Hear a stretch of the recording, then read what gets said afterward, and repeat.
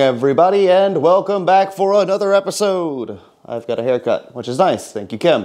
Um, one of the biggest questions I've been receiving all week, um, lots and lots of concerns and all that stuff about what I mean by replacement windows and why I'm doing that at all. Uh, let me walk you through a few things and show you A, why I'm choosing who I'm choosing to do it, what I'm actually replacing, and why I'm doing it. So let's go ahead and get into that first today before we get into any work. So let me show you. One of the first things I want to show you guys is A, I'm missing lots and lots of glass. Uh, or maybe not a lot, but quite a bit. And there's a lot of replacement panes as well. Um, so some of this stuff is wavy glass. Um, you know, like for instance, this one up here, wavy glass. This one down here, not wavy glass. Um, so there's been a lot of replacement and fixing and all that stuff. And then we get into the issue of this. Now maybe it's a bit hard to see because I'm sure it's super duper backlit, but you can see the gap there. This entire piece here is completely rotten. All the way across, it's bowing like crazy. I couldn't lock this window if I wanted to. It's extremely messed up. So, you know, these weren't taken care of. I mean, you can see the glass and the wood aren't even connected anymore because that entire piece is dropped and it's missing a bunch of it. So that shot, I mean, I don't know what, I mean, I suppose you could find some old pine, some old growth pine and repair that. Yeah, sure. Or you could repair it with modern material. Sure. Neither of which would match. So, you know, and that's just one window in here. This one, over here on this side, actually, this coving pattern or this pattern here doesn't actually match up here. It looks close and it is somewhat close, but one of these two windows is an original. Uh, which I'm assuming this is the original because I've seen this pattern further over, but see how this is more shallow here, and this part here is actually smaller than this here. So one of those two isn't, and I'm pretty sure the bottom's original and that's not. So there's already been some replacement, some redoing and stuff like that. Also, when I'm talking about the windows, I'm only replacing the sashes. So just this and this. The guy who's doing it, um, this company, it's called St. Louis Sash. It's a, a guy and his son who do it. They work on antique equipment and uh, they do a spectacular job. They've built doors and windows for the Campbell House. They've worked on many, many, many projects, and their stuff is simply put incredible. They're really good at what they do. They really care for this house. Um, you know, like I said, like they have a, a Hall and Brown table saw. These new sashes that are getting made are getting made on the guy who built the house's equipment. Uh, like some of the other stuff I get to do, uh, like the, the mansard's gonna be built that way. Uh, not by these guys, but other people, because people collect their machinery and they still use it. Um, you know, the, the windows won't look any different, but the difference is they will be uniform. So into one of the nicer rooms. Um, the other problem with wavy glass is like this piece here is cracked, it's broken. And this is for my Jefferson window. And you see how big that piece of glass is? It goes all the way to the floor. So sourcing a piece of wavy glass that big is really difficult. And again, right here is a good example. This piece here, you can see this little like dot here, this is all wavy glass. But the pane right next to it is not. This is standard, basic, modern glass. It's flat, it's crystal clear. So even in the same sash here, wavy, not wavy. So going through and sourcing all of the glass, it's, it's tricky because there's a few companies that make it still, but it would probably triple or at least double the cost of anything I did in this house window-wise because it's just these are pretty large panes, and to find enough of it or to get it made is just, well, simply put, guys, I'm not a rich man. um, same thing in here. These windows, they're all okay. Like, they're not terrible. They could be reworked, right? But then this one over here is broken. We have this all coming apart. You can see they've put a metal bracket there just to hold it all together. Um, and then, let's see if this will focus yeah, you can see how it's dropped down. The wood is, I mean, it's beat up, guys. It's really beat up. It's completely fallen apart here. essentially that's what I mean by end of their service life. A lot of these guys haven't been taken care of. I know some of you guys have houses from, you know, the early 1800s and your windows are fine or they've been remade or they've you've got them back to where you need them to be. And that's awesome. Like I would be ecstatic if that were a, a better possibility for me here, you know? Like that'd be amazing. But a lot of these are really really beat up. And a lot of them aren't original. Let me show you the entire first floor and what I mean by them not being original in the house. Now here I am back on the first floor in the parlor. You see the windows, wonderful, wonderful, right? Like nothing looks too out of place. But then you look closer to the windows and realize, oh wait, those aren't wood. Those are aluminum and double paned aluminum. Whole thing, the entire first floor has been completely replaced. Now luckily they didn't screw with any of the woodwork and I'm hoping that, you know, pieces of the casing and stuff are back in there. That way, when I go to replace these, I can just do the sashes with minor fixes. But who knows? I don't, I don't know what's necessarily behind all this. Those are aluminum. Above it, wood. Now, obviously, this looks a whole lot better than this. So, I want to, I have to replace all this. And I'm hoping to keep all of the casings together, or all the, you know, the surrounds, whatever you call this, the, the frame of the window all together. You see some of them have storm windows in them, some of them have, I mean, it's, it's a whole modge podge of stuff. It's, it's different eras trying to fix the same problem. But you see here in the front, these, these four down here, all aluminum. This right here in the back, this is the dining room. And that is the library window I've been working on that you guys saw me strip last week. So you can see like the window's just a bit busted up. Uh, the frame itself isn't in too terrible of condition. I'm gonna still have to put some, uh, you know, some, some epoxy, probably wood filler around it and, and paint the outside. Now, before anybody goes crazy, these would have all been painted anyways. I can see in the original 1896 photo that these were a dark color, a really dark color, and I'm thinking very dark green. Um, I'm gonna look at some Victorian color charts or late Victorian color charts to see how dark they were actually able to go because it looks really dark in the photo. So, yeah, again, here you guys can see aluminum new window, old window. So that guys, is the main reason why I have to replace a lot of these windows. You know, I, I don't have all the glass. Um, sourcing the wavy glass is really difficult. I have a lot of rotten uh, sashes, and I have sashes that are mix, mix matched in the same window. So, you know, it made more sense to go ahead and get new sashes produced. It just did. I, I would have taken a lot of time to repair these things. Uh, I would have had to have sourced old, old wood um, to repair them, which again is possible. You can do it. Um, but it just seemed like for what reason? I mean, they're going to be built out of mahogany. They're going to be beautiful, and they're all going to match. The entire house is going to match. So it made more sense for me to go that route. If at a later date I, you know, I, I make more money or, or something happens, I, you know, I'm I'll replace all the windows uh, again, uh, or just take out all the panes of glass and replace them with wavy glass. Um, you know, obviously I want this to look as original as possible. Um, but sometimes, guys, people come before you and they make decisions, and who knows what these windows look like before? I mean, maybe this was the right decision for them at the time. You know, I've made my decision based on lots of consideration, um, heavy consideration. Um, so I wanted to give you guys a bit of an explanation of why I'm doing that. Um, I will also be filming when I make the windows. Um, you'll get to see a, a Hall and Brown uh, bandsaw in, in use. You know, the guy who's making them, he's an artist. He's really good at his craft. And like I said, he's built windows, replacement windows for many, many historic homes in the city. He's an absolute perfectionist craftsman. He was so excited also when I told him whose house this was because he's a huge fan of, of Hall and Brown. So, you know, it, it's, I think it's the right decision, guys. Also, these windows, they don't get tossed in the trash. I'm keeping the windows. Uh, I'm probably gonna put them in the basement for now. So everything that I take out of here, I'm going to keep. I'm gonna try to get every bit of wavy glass out of all the, the pane, or all out of all the sashes. And um, we'll count up, see how much I have, and then how much I need to get in the future if I want to put that back in.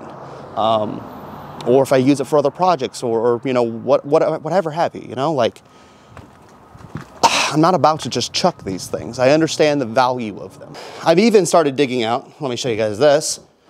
These are the original brass pulls. So I've taken them out. I've been cleaning them up. And I'm to have the guy reinstall them in the new windows, in the new sashes. So again, trying to reuse everything I possibly can to make this work. So hopefully that explains more of what's going on with the windows, guys. Hopefully you uh, guys aren't all too mad with me. So thank you, thank you, and let's get to time lapses. Real quick, I know a few of you guys want to know what was in the mysterious bathroom closet. And it's not very exciting. However, that being said, there's nothing really wrong with it. So essentially, we're just gonna use it as it is. You know, so there you go. These tiles in better condition down here, but don't worry, these are linoleum. They're super duper thin and they're not, uh, they're not a problem. They're the same ones that are here.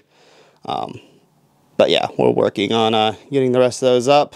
The other ones just kind of fell, fell off. They were not stuck very well. And this is actually some of the trim that's gonna be going pretty soon because after I get everything stripped in the library, the bathroom is next. Um, probably starting with this window. So also plaster, got to get this plaster redone. So I'll take this stuff off, take it in the other room, strip it, and uh, we'll be on our merry way.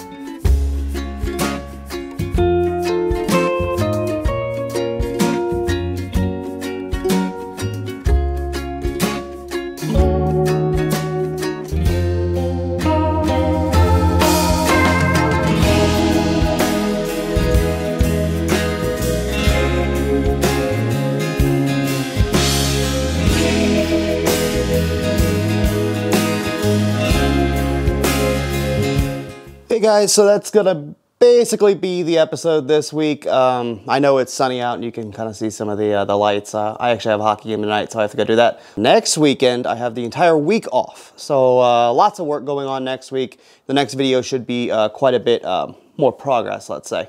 Um, and uh, I know you guys were all asking about staples, so let me help you guys out with that a little bit. The reason that we have so many staples and windows, such as this one here in the bathroom, as you guys can see, Lots and lots and lots and lots and lots of staples all the way up, all the way down. Essentially, the reason they did that is because the windows leak so much air uh, around them, obviously not through the glass, but around them. Um, and because they do that, um, when you're cold, and it get, does get cold in the house, um, you know, you'll do anything. You'll, you'll staple plastic to anything. And we found a lot of plastic. As you guys can see in the, the last little shot, there's tons of plastic still there. And uh, that was simply put, yeah, that's it was a, um, what's somebody call it in the comments? Oh, a redneck storm window. I like I like that. Um, but essentially, yeah, that's what it was. It was to stay warm. Um, yeah, and they just did it and didn't really care about what they were stapling into. Um, yeah, so it's a problem we have to deal with, but uh, it's coming along. We're getting a little bit uh, better at getting the uh, paint off the wood and stuff like that. So it's starting to shape up. So uh, let me show you guys what the woodwork's looking like now after we've gotten a lot of it stripped. Now you guys know before I did this window, right? The thing is with it is I didn't get every little nook and cranny clean. So there's little bits here and there that I'm less than happy with. Whereas this window, even though now it's missing its wonderful for wonderful, wonderful wood, uh, woodwork. Um, this is what we're left with. I've taken it all off, taken it on the table, and we have got it really clean. So these are ready to actually stain and go back up. Of course, I can't do that until I get some plaster work done in here, but yeah, really pretty, really happy with these. Of course, these are a little bit easier than these, which are the plinth blocks or um, I don't actually know, I know the plinths at the bottom, but I don't know what you would call these at the middle and the top. Um, but yeah, as you can see, really, really pretty stuff. Uh, got these, these four all done for the one window. As you can see, we're still working on the other ones over here for the other window. Um, but we're getting close. This is the last piece of trim for that window over there. And so, and then these are the other pieces for that window, which are all 100% done. And yes, I did finally buckle. The, these pieces of, uh, of wood were kind of coming off anyways. And because I have to do so much plaster work up and around here, I mean, you can see all this is, this was actually drywall. So I didn't even take plaster down. You can see the piece of drywall up there still. Uh, and this is still down here, drywall. They just shimmed the wall and, and did this. Um, and of course you can see this stuff here. you can see the massive shadow. I guess like my hand back there. So uh, yeah, that's all coming down. Um, and I'm going to do that uh, probably tomorrow. So as you're watching this, I'll probably be dusty and gross in, uh, in plaster hell again, let's say. Um, but yeah, all this basically has to come down. Uh, I'm going to have a guy come out uh, hopefully next week to come assess and uh, estimate how much this is going to cost. Um, and also, uh, I'm hoping because I have all of next week off that he can do it and I can watch him do it and learn how to adhere plaster to brick because I don't know how to get it on to masonry and make it stick on masonry. Whereas with the lath, obviously you key it in. Um, so I'm just uh, a little ignorant on the subject of making it stick to brick. So that's that. Part of this wall too is really chunky and messed up. I'm thinking this stripe right here might be uh, a piece of drywall, so that might have to come down. Um, I know there's a piece of drywall up there, which means that has to come down, which means some of this has to come off as well. Um, so yeah, I think most of the trim's gonna be done on the table. That ended up being a good uh, setup for us. And uh, I thank you guys for recommending that because uh, that came from you guys. Although I do have to be very careful. This trim is rather delicate and you can crack it or make a crack that's existing worse by pulling on it. So if you come into a situation like this in your own place, just be very, very careful with the trim. You can get more cut, but it won't always be this exact wood that you're wanting. I mean, this is very old pine, so, you know, good luck finding it. Um, but yeah, beautiful stuff. And then I do have a few things outside I want to show you guys too. All right, guys, so here outside, uh, I uh, wanted to show you a couple of things. Hey, here's the, uh, the table saw. The top's in my uh, garage, but uh, it's gonna stay out here for a little bit and just until I can get my dumpster moved um, because uh, it's really heavy and I gotta roll it back to my garage way back there. So yeah, a little hard to do that currently. Um, can't find enough bodies to just straight lift it. like we got it in the van with a uh, an engine lift, so it's heavy. And then as you'll notice, I have a whole stack of old, um, well, two by fours, I guess, but essentially they're, they're bigger than that. But uh, really nice, sturdy, big, old lumber from an old house here in the city. It's probably a little over 100 years old. Um, and yes, it is sitting outside right now. We're not gonna have any rain anytime soon, so just kind of waiting on weather, but uh, I'm gonna move this stuff inside, but I'm actually gonna build the wall in the bathroom with this stuff. Um, so if, uh, you know, you drive by or something and see all this wood, don't worry, I did not rip this out of the house. This is not from the house, but it's actually gonna be used to re rebuild part of the house. Um, I was lucky enough to get this stuff uh, for free actually, and um, I think it's fitting to build the new wall upstairs on the third floor for the bathroom in this. So yeah, pretty nice stuff. If anybody's in need of any track for a pocket door, let me know. I have some. So that's pretty much all the excitement for this week, guys. I know it's not a terribly exciting uh, video again, uh, you know, watching paint dry in reverse. Um, but I hope you guys all enjoyed it, and uh, I'll catch you guys next week. Like I said, I'll have a lot more work done next week because I have an entire week to do it instead of two or three days. Um, so yeah, uh, we'll see you guys then. Have a wonderful, wonderful rest of your day, and bye-bye.